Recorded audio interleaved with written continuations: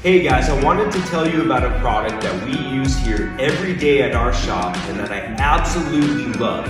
It is the BLO Car Dryer Air S. It is compact, lightweight, and blows heated and filtered air.